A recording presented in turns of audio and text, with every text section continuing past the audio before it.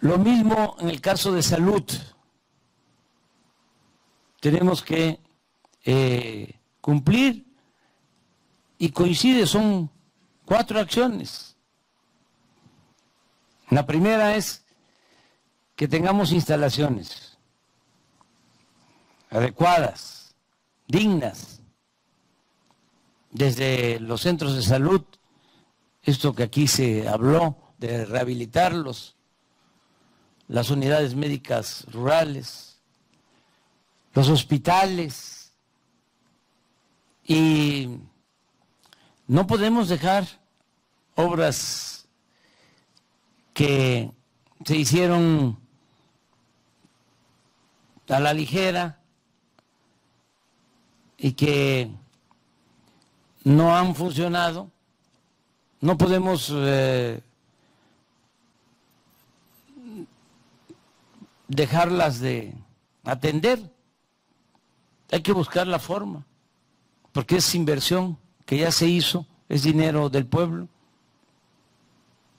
Entonces, todas las instalaciones abandonadas hay que eh, rehabilitarlas, terminar obras en proceso y mantenimiento a toda la infraestructura de salud. Sea eh, hospitales públicos para la atención de quienes no tienen seguridad social, sean clínicas, hospitales del seguro y el ISTE, que urge en Colima que se mejore el servicio. Instalaciones. Lo segundo, que no falten los médicos y los especialistas. Antes se pensaba nada más en la construcción del edificio, de la infraestructura,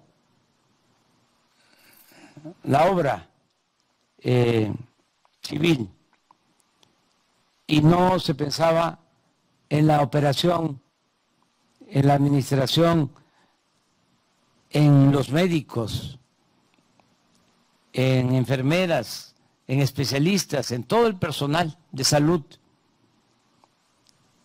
Esto se tiene que atender. Lo tercero, las medicinas.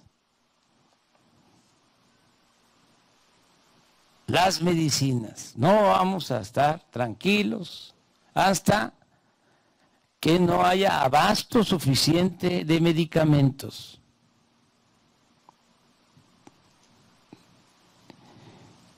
atención médica y medicamentos gratuitos.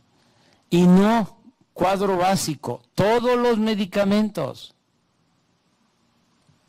hasta los más difíciles de conseguir.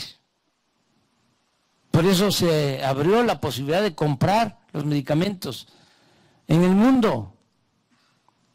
Ya no hay excusa. Además, ya no se permite la corrupción que existía de que 10 distribuidoras acaparaban toda la compra de medicamentos que hacía el gobierno.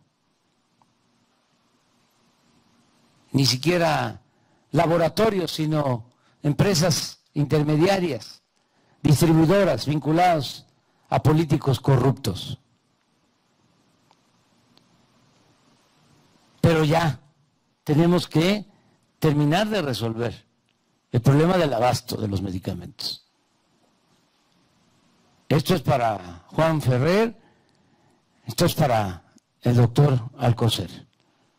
Yo no quiero escuchar de que faltan medicamentos y no quiero excusas de ningún tipo. No podemos dormir tranquilos. Sí, no hay medicamentos para atender a enfermos.